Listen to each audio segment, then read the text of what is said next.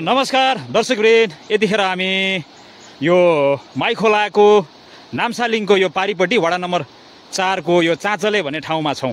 यो पारिपट्टि देखिने भागहरू इलाम नगरपालिका वडा नम्बर आठ पर्दछ भने यतापट्टि माइजोङमाई अ, चार पर्दछ।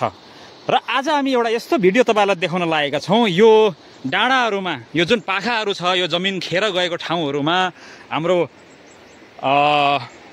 हाम्रो किसान अग्रज किसान अर्जुन देवानले केरा खेती गर्नुभएको छ। यो एउटा उहाँको नयाँ प्र्याक्टिस पनि हो र यो इलामको माटोमा र यो किसिमको माटोमा केरा खेती हुन्छ भन्ने उहाँले चाहिँ पहिला अलिकति अनुभव लिएर अहिले यो केरा खेतीलाई विस्तार गरिराख्नु भएको छ। आजको भिडियोमा उहाँसँग हामी यहाँ यहाँहरूलाई जोड्दैछौँ। अर्जुन सर यहाँलाई स्वागत छ मिसन इलाममा। हजुर नम धन्यवाद सर। नमस्कार मेरो पनि तपाईँहरूलाई। के अरे केरा त बडो मजाले लाउनु भएको रहेछ। हजुर यो मेरो चाहिँ एउटा अनुभव र यो बाँझो बारी अनि अरूभन्दा पनि अरू बाली पनि हुन्छ यो ठाउँमा। तर सबैभन्दा पीडित चाहिँ जङ्गली जनावर बाँदरले गर्दाखेरि यो मैले अपनाएको चाहिँ केरा खेती चाहिँ अलिक सही हो कि। भन्ने तरिकाले यो मैले रोपेको हो। अब रोप्नु त भर्खर सुरुवात मात्रै छ अब यसो हेर्दाखेरि त खासै देखिँदैन र पनि अब दुई तिन सय ज्याङ क्रस छ। अब यो देखिएको जमिनमा चाहिँ सबै अब मैले अब सोच बनाएको छु। एक हजार गाछ क्रस गर्ने मेरो लक्ष्य छ। हजुरको कति रोपनी जमिन हो यहाँ? यो चौध रोपनी तिन आना जति छ। ए ए यो तलको यो फाँटहरू पनि हो? त्यो फाँट बाहेक यो पाखा मात्रै ए उँभो त्यो त्यो उँधो पनि हाम्रै जग्गा हो? त्यो पनि हाम्रै हो त्यो। अहिले त धान पनि रोप्नु भएको रहेछ होइन? अब कस्तो बडो राम्रो है यो खोला अनि पानी सट्ट मिल्ने यता माथि पनि पानी भएको। यहाँ पहिला के रुख लाउनु भएको थियो? यहाँ त्यत्तिकै यो झाडी मात्रै थियो खास विशेष एउटा दुइटा अलिअलि रुखहरू थियो त्यो काटिहाल्यो। अनि त्यो विशेष झाडी चाहिँ धेरै वर्ष रह्यो। अनि यो केरा रोप्नुपर्छ भन्ने चाहिँ सोच कहाँबाट आयो नि हजुरसँग? होइन यो केरा त अब हामी जस्तो किसानले अब एउटा न एउटा विकल्प त अब विकल्प सोच्नै पर्यो। अब कि अब कर्मचारी जागिरी हुनु पर्यो कि विदेश पलायन हुनु पर्यो। अब यिनीहरू पनि गर्दाखेरि हुन्छ आमदाम राम्रै हुन्छ भन्ने चाहिँ मेरो लक्ष्यले गर्दाखेरि अब यति मात्रै होइन मेरो अरू सबै थोक जस्तो छ। ए ए ए अरू पनि खेती गर्नु भएको छ। अनि सुन्नु न यो चाहिँ यहाँ कुन कुन जातको केरा लाउनु भएको छ यहाँ खासै चाहिँ मैले ध्यान दिएको अरू अब विकासे केराहरू चाहिँ अब बाँदरले अलिकति खाँदा नै रहेछ। अनि मैले यो चाहिँ उहिलेको यो लोकल जातकै केरालाई अलिकति धेरै मैले उ गरिदिएको यो लोकल जातकै केरालाई चाहिँ मैले अलिकति प्राथमिकता दिएर अनि यहाँनिर कुनै जि- जिनाउ केराहरू पनि छ। अहिले अब नयाँ अब हाइब्रिडहरू जिनाउ नै अहिले प्रचलित छ नि त। तिनीहरूको पनि यहाँनिर बिरुवाहरू यो अहिले चाहिँ लाउनु भएको जिनाउ अनि मालभो मालभोग अनि झपरी अनि यो अमृत सागर पनि छ अमृत सागर। पनि छ। ए जाजी जाजी जाजी पनि लाउनु भएको छ। अनि यो यस्तो भिरालो जमिनमा है यो केरा खेती गर्नुहुन्छ।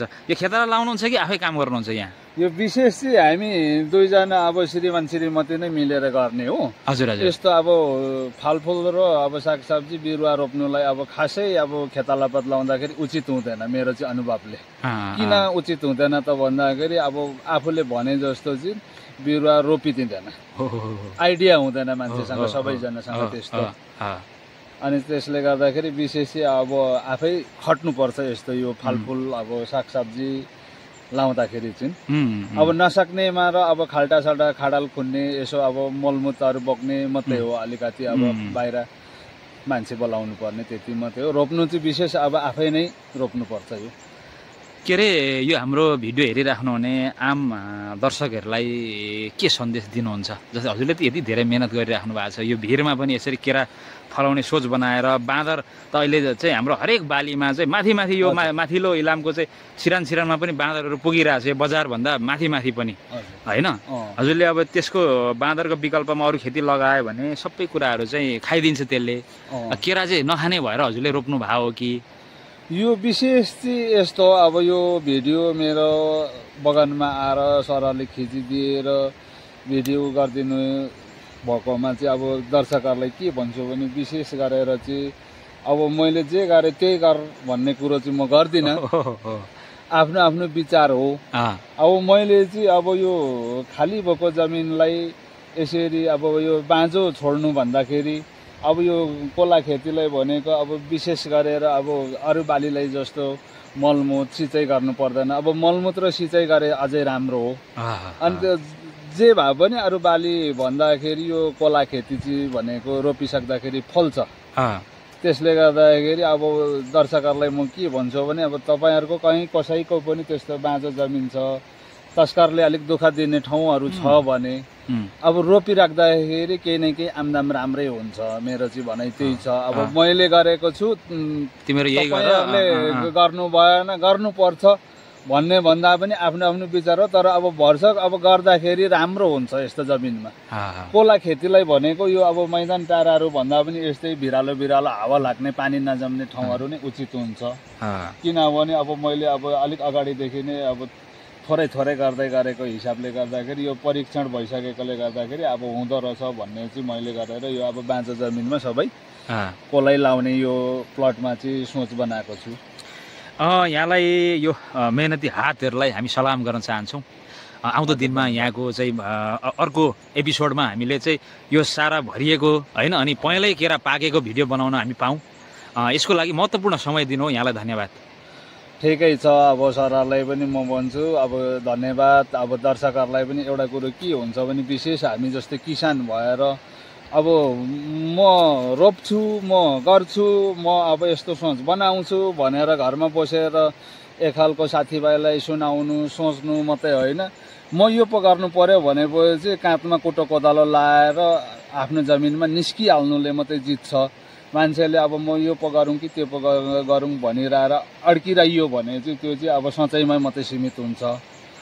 त्यसले गर्दाखेरि अब गरिसक्दाखेरि अब घाटा हुँदैन मेरो चाहिँ सोचाइले किनभने तर अब घाटा अब रोपिराखेर हेरेन भने चाहिँ घाटै हुन्छ। तर अब त्यसलाई पनि टाइम चाहिँ निकालेर हेर्नु पर्यो। त्यसो गर्दा अनि हाम्रो धेरै युवाहरू चाहिँ विदेश जानुहुन्छ नि। होइन जमिन। समिन छोडेर आफ्नो बाँझो जमिनहरू छ हजुरले त यसरी खेती गर्नु भएको छ उहाँहरूलाई के भन्न चाहनुहुन्छ?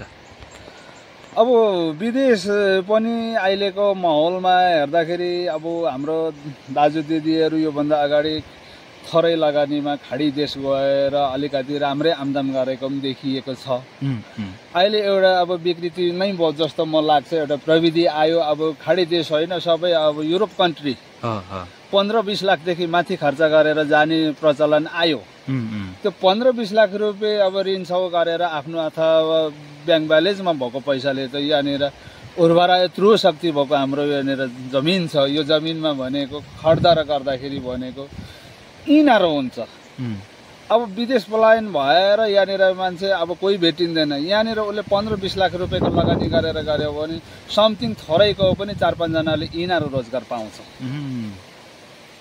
आर्थिक हुने मान्छे र अलिकति गर्छु भन्ने र अलिकति आइडिया हुने मान्छेले यो आफ्नै जमिन आफ्नै भूमि आफ्नै देशमा गर्नुपर्छ भन्ने म चाहिँ एक खालको सोच बोकेर साथीभाइहरूलाई सन्देश दिन्छु।